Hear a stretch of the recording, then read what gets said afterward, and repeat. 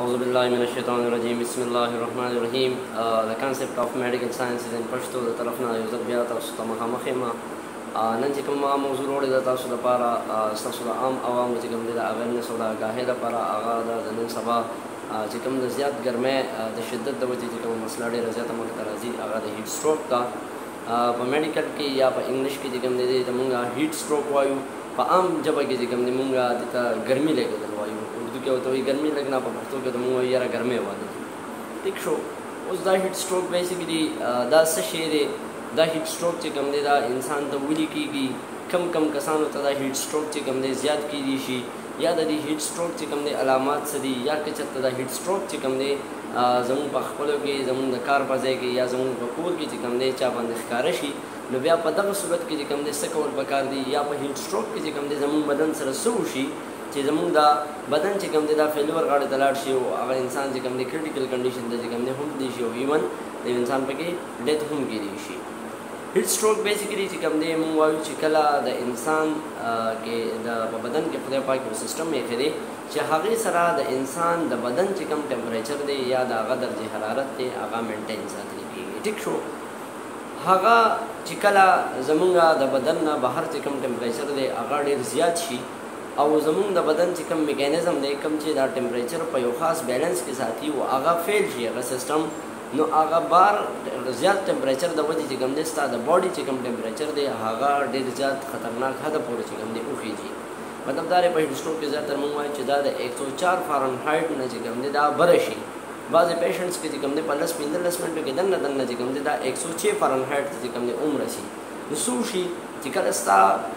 ته په یو داسې ځای کې موجود دی چې هغه ځای ډېر زیات ګرم دی ټیک شو فار ایگزامپل لکه موږ اوسنی موسم وایو چې زمونږ چې کوم بهر د انوایرمنټ ټمپریچر دی نو هغه تقریبا د 42 43 44 ته رسي تقریبا نو چې کله ته په 42 43 کې پریزنټ وي او ستا د باډي ټمپریچر چې کوم دی 37 چې کوم دی په کار دی نو په دې صورت کې چې کوم دی ستا د بدن میکانیزم چې کوم دی هغه شروع وي او کانسټنټلی متواتر چې کوم دی څه کوي چې کوم ستا ایکسټرنل ټمپریچر دی هغه سره ستا د باډي هغه اډجسټمنټ راولي او ستا د بدن ټمپریچر چې کوم دی سیوا کېدو ته نه پریزي دا هغه بیا مختلفې طریقې دي د انسان نه خولځي مختلف بلا طریقې دي هغه چې کوم دی ډېر ډیټیل کې نه ځم صحیح ده او دا یو میکانیزم خدای پاک په بدن کې ایښی دی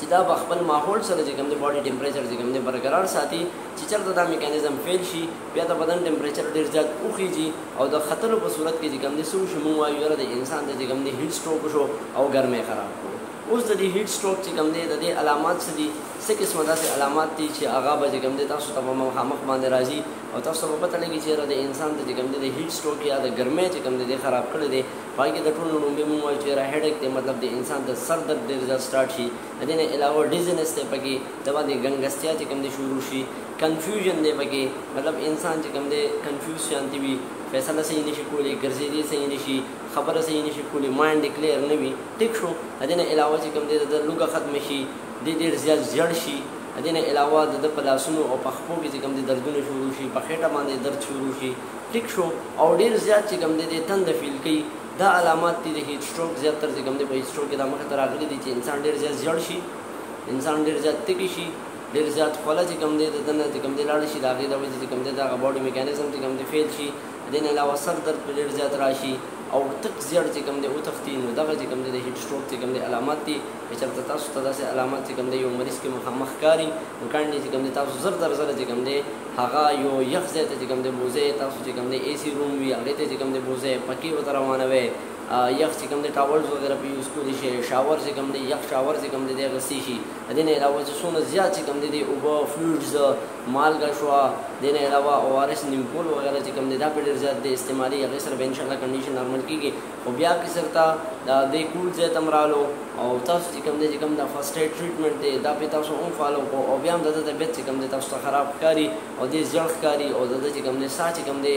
رلنډیږي زر زر ساه اخلي او دغه شان چې کوم دی بالکل چې کوم دی طبیعت چې کوم دی بدحال وي زړ تختیدلی وي نو بیا په تاسو کاندي زر زر زر چې کوم دی تاسو چې کوم دی دی چې کوم دی هسپټل ته رسوي او هغه چې کوم دی بیا د برابر ټریټمنټ کوي ټیک شو دا شو د دې هیټ سټروک باره کې څه خبرې چې هیټ سټروک څه شی دی او د هیټ سټروک چې کوم دي علامات څه دي یا ساده چې کوم نن سبا ټمپریچر دی زیات تر چونګې زیات ډیر زیات ایکستریم ټمپریچر دی ډیر زیات ګرمي ده د دې د وجې چې کوم دي د هیټ سټروک دا پیشنټ چې کوم دي ډیر کامن دي نو د خپل هم چې کوم دي د درازي هسپټل مختلف سټاپ چې کوم دي غي د خپته ده د هیټ سټروک زیات تر پیشنټ راځي نو هغه کسان چې کوم د اور کار زنانه سپیشلی ډیر زیات کوي ډک شو نو هغی ته پکار دی چی مطلب په وقفی وقفی سره چی کوم دی هغی د هغه اور نه چی کوم دی لږ غونتی رستو کیږی او اوبه ډیری زیاتی ورسره استعمالی اوبو استعمال چی کوم دی دا انسان چی کوم دی هایډریټیډ ساتی او د دده بدن کی چی کوم دی د اوبو مقدار برابر وی او دی نه علاوه چی کوم دی پر فار اګزامپل چی کوم دی د یو انسان شوګر او بلډ پریشر نه وی دی نیمکول وغیره استعمالولی شی که چرته دده بلډ پریشر وی نو بیا چی کوم دی بیا دی مالګه چی کوم دی ډیر زیات نشی استعمالولی استعمالولی شی خو په یو خاص لیمټ کې ټیک دا نو بس هغه بلډ پرشر والا ته پکار دی بیا چې ځان ډیر زیات هایډریټډ ساتي سالټ وغیرہ د ډیر زیات نه اخلي او که شوګر مریض نو غارس نیم کول وغیرہ د نه اخلي ولې چې کې ګلوکوز دی مال کې چې کم دی استعمالول شي کې چرته دی هایپرټنسیو نه وي کوشش کوي زیات تر ځان چې کم دی په شټ کې ساته ډیر زیات نور نه چې کم دی ځان بچ کوي چې تاسو ډیر زیات خوله نه دي کې چرته بیا تاسو